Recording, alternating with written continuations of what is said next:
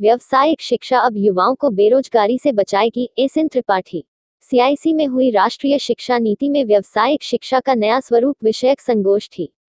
चित्रकूट 10 मार्च। Chitrakoot inter college, Karwi. में उप प्रधानाचार्य श्रीनिवास त्रिपाठी की अध्यक्षता में राष्ट्रीय शिक्षा नीति 2020 में व्यवसायिक शिक्षा का नया स्वरूप संगोष्ठी आयोजित की गई, जिसमें शिक्षकों ने छात्र छात्राओं को व्यवसायिक शिक्षा के महत्व को समझाया और अधिकाधिक छात्र छात्राओं को व्यवसायिक शिक्षा पढ़ने के लिए प्रेरित किया गया। प्रधानाचार्य ने कहा कि देश में शिक्षित बेरोजगारों की संख्या दिनों दिन बढ़ रही है, सरकारी नौकरी कम होती जा रही है, ऐसी दशा में सरकार व्यवसायिक शिक्षा को बढ़ावा दे रही है। राष्ट्रीय शिक्षा नीति 2020 में सरकार ने कक्षा छह से बारह तक व्यवसायिक शिक्षा को अनिवार्य करने जा रही है, जो दो हज़ार से प्रत्येक छात्र छात्राओं को पढ़ना होगा। उन्होंने कहा कि व्यवसायिक शिक्षा ही अब बेरोजगारी से युवाओं को बचाएगी।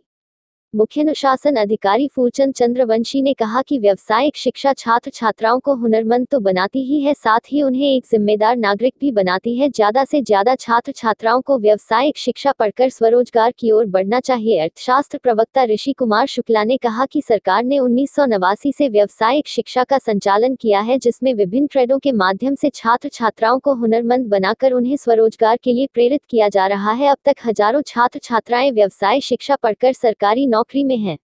बहुत से छात्र अपना स्वरोजगार कर जीवन यापन कर रहे हैं। प्रवक्ता वीपी निर्मल ने कहा कि अभी तक व्यवसायिक शिक्षा में कुछ कमियाँ रह गई हैं जिन्हें अब मोदी सरकार नई शिक्षा नीति 2020 में प्रावधान करके उन कमियों को दूर करने का निर्णय लिया है। उम्मीद है अब व्यवसायिक शिक्षा कारगर ढंग से संचालित होगी और इसका लाभ छात्र छात्राओं को मिलेगा।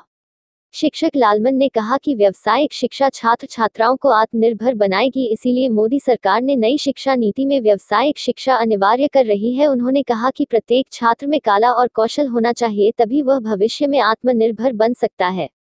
गोष्ठी में माध्यमिक शिक्षक संघ के जिला मंत्री रामबचन सिंह, धर्मेंद्र सिंह, पंडित अवधेश कुमार तिवारी, शक्ति प्रताप सिंह सेंगर, व्यावसायिक प्रवक्ता सतीश कुमार रैकवार, कला प्रवक्ता विनय कुमार साहू, रामशरण पवन कुमार व समस्त छात्र छात्राएँ मौजूद रहे। गोष्ठी का संचालन व्यावसायिक प्रवक्ता शंकर प्रसाद यादव ने किया और सभी शिक्षक बंधुओं का आभार जताया। रिपोर्ट, शंकर यादव, चित्रकूट।